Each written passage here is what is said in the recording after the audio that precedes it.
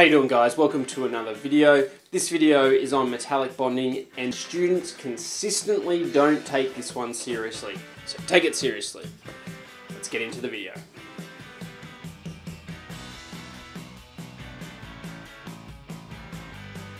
So topic four, chemical bonding. We look at metallic bonding and we really just need to talk about what a metallic bond is.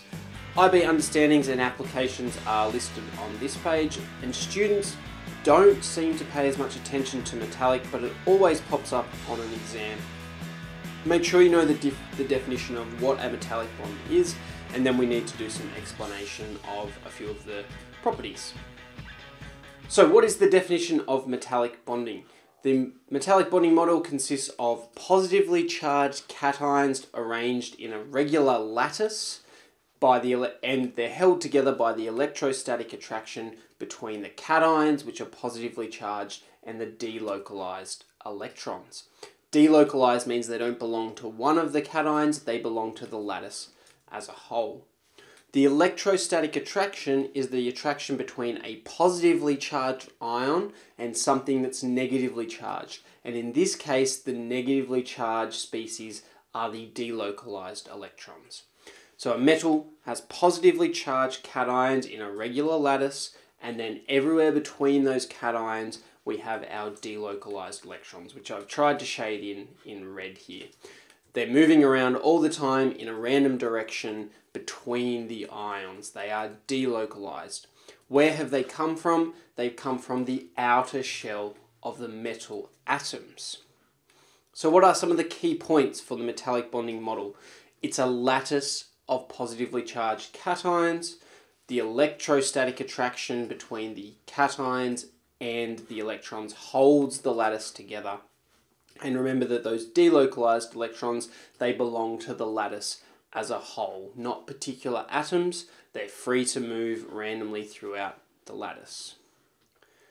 So one of the properties we have to be able to explain is malleability. Now malleability is the property which enables a metal to be hammered or pressed or shaped into all of the different things we use the metals for. We need to be able to ex explain malleability using a simple two-dimensional metallic bonding model. So here I've got my metal cations in my lattice structure and between those I have my delocalized electrons. Now how can we use this to say that metals are malleable? Well it's due to the layers of the ions being able to slide past one another. They're able to move and still be attracted to the delocalized electrons. So the crystal won't break apart. There's no repulsion because between the ions there's the delocalized electrons. So the shifting of the layers of metal ions allows us to press it and hammer it into the shape that we need. So we define that as being malleable. Just to illustrate that, we can see if I move the layers from side to side, the layers will slide past one another and that's going to change the shape of our metal.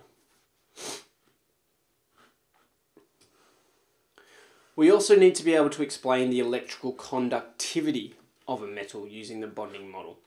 And electrical conductivity is defined as the ability of a material to carry the flow of an electric current. So I want you to pretend that we have a battery and our battery has a positive terminal and a negative terminal.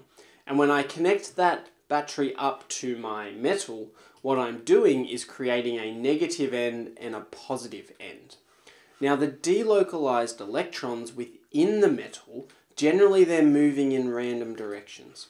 But now I've got a positive end and a negative end, so those delocalized electrons will flow towards the positively charged terminal or the positively charged electrode. The negative terminal of the battery, well that's pumping in electrons. So the electrons are flowing from the negative of the battery through the metal towards the positive. So the electrons flow in one direction and in this case they're attracted to the positively charged terminal.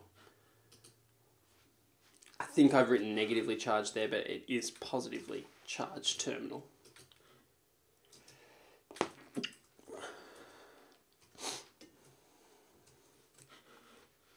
We also need to talk about alloys. Now, the property of a metal can be significantly altered by adding small amounts of other substances, either another metal or carbon, for instance. Whenever we do this, we've made what we've called an alloy. Now, the production of alloys is possible because of the non-directional nature of the delocalized electrons and the fact that the lattice can accumulate different ions, different sizes of ions. So for instance, the substitutional alloy between copper and nickel is where the, some of the copper atoms or the copper ions are replaced with nickel ions. And this is what Australian silver coins are made of. Now, by altering the different sizes of the ions, that causes a restriction between the layers. So now it's a lot harder for the layers to slide past each other. The bigger nickel ions are going to hit the copper ions below. So that means it's harder and less malleable. The second type of alloy is an interstitial alloy. That's where we place in a smaller atom into the layer, into the lattice of positively charged cations. So for example, this one is like stainless steel or steel, where we have added in carbon atoms into the lattice of iron and that also helps with restricting the movement of the layers. The layers can't move past each other.